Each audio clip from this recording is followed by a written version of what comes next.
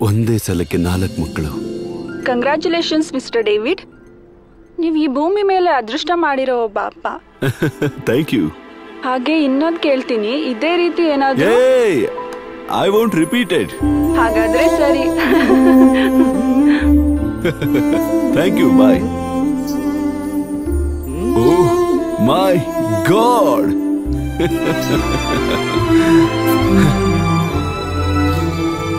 ಆಗಿಂದ ನನ್ನ ಲೈಫಲ್ಲಿ ಒಂದೊಂದು ಕ್ಷಣನೂ ಅದ್ಭುತವಾಗಿ ಸಾಗ್ತಾ ಇತ್ತು. ಮನೆಯಲ್ಲಿ ಆಫೀಸಲ್ಲಿ ಕಾರಲ್ಲಿ ನನ್ನ ನಾಲ್ಕು ಮಕ್ಕಳನ್ನ ನಾನು ನೋಡ್ತಾನೇ ಇದ್ದೆ. ಹಾಗೆ ಅವ್ರ ನಗು ಚೇಷ್ಟೆಗಳು. ಇವ್ರು ನಾಲ್ಕು ಜನನು ನನ್ ಗೋಳೆ ಹಾಕೋತಾರೆ ನಿಮ್ ತರಾನೇ ತುಂಬಾ ನಾಟಿ ನಿಮಗ್ ಗೊತ್ತಾ ಇವ್ರು ನಾಲ್ಕು ಜನ ಒಂದೇ ಸಲ ನಿದ್ದೆನೆ ಮಾಡಲ್ಲ. ನಾಲ್ಕು ಜನದಲ್ಲಿ ಒಬ್ರಾದ್ರು ಯಾವಾಗ್ಲೂ ಎದ್ದೇ ಇರ್ತಾರೆ. ಮತ್ ನಾನು ಎಲ್ಲಿದ್ದೆ ಮಾಡೋದು? ಅಮ್ಮ ಇಲ್ವಾ ಅಲ್ಲಿ? ಇದ್ದಾರೆ ಆದ್ರೆ ಅವ್ರ ಹತ್ರ ಹಾಲಿಲ್ವಲ್ಲ? ಓಹ್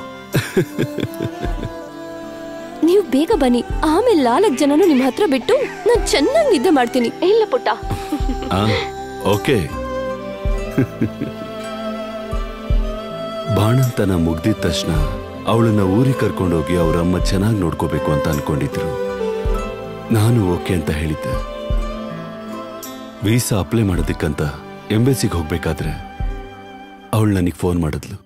ಇಲ್ಲೋಡಿ ಇಲ್ಲಿರೋ ಅರ್ಧ ಜನ ಕನ್ನಡದವ್ರೆ. ಪಾಸ್ಪೋರ್ಟ್, ವೀಸಾ, ಯಾವುದೂ ಇಲ್ಲ.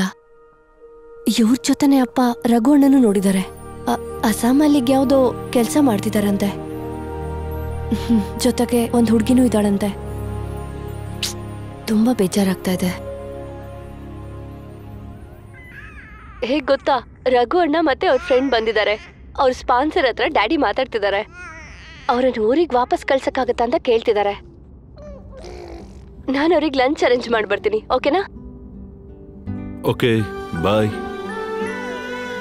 ಹೇ ಅವ್ರಿಗೂ ಟಿಕೆಟ್ ಸಿಕ್ಬಿಡ್ತು ಸೇಮ್ ಫ್ಲೈಟ್ ಅಲ್ಲೇ ಹೇಗೂ ಊರಿಗೆ ಹೋಗೋದು ಕನ್ಫರ್ಮ್ ಆಯ್ತು ಅದಕ್ಕೆ ಅವ್ರನ್ನ ಹೊರಗೆ ಕರ್ಕೊಂಡು ಹೋಗಿ ಸ್ವಲ್ಪ ಡ್ರೆಸ್ ಎಲ್ಲ ಕೊಡ್ಸಕ್ ಹೇಳಿದೆ ಅಪ್ಪಂಗೆ. ಅದಕ್ಕೆ ಹೋಗಿದ್ದಾರೆ. ಟಿಕೆಟ್ ಸಿಕ್ತು ಅಂತ ಗೊತ್ತಾದಾಗ ಅವ್ರು ಎಷ್ಟು ಸಂತೋಷ ಪಟ್ರು ಗೊತ್ತಾ? ಅದನ್ನ ನೋಡಿ ನಂಗೆ ಅಳು ಬಂತು.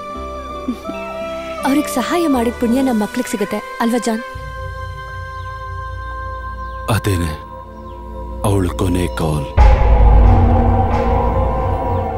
ಅದಾದ್ಮೇಲೆ ನಾನು ಅವಳನ್ನ ಕಾಂಟ್ಯಾಕ್ಟ್ ಮಾಡಕ್ಕೆ ಆಗಲಿಲ್ಲ. ಸ್ವಲ್ಪ ದಿನ ಆದ್ಮೇಲೆ ಒಂದು ನ್ಯೂಸ್ ಬಂತು. ಜೋಸೆಫ್ ಜಾರ್ಜ್ ಅವ್ರ ಕುಟುಂಬ ಕೊಲೆ ಆಗಿದೆ ಅಂತ.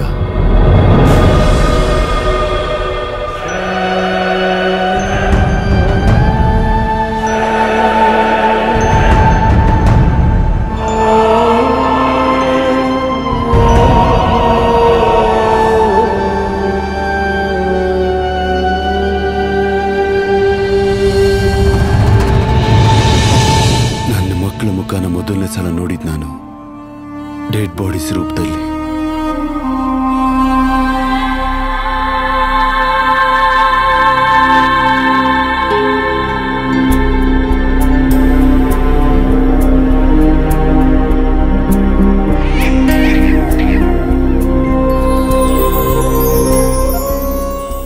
ನಮ್ಮ ಮಾವನಿಗೆ ದುಡ್ಡಿನ ಸಮಸ್ಯೆ ಇತ್ತು ಅಂತ ನನಗೇನು ಗೊತ್ತಿರಲಿಲ್ಲ.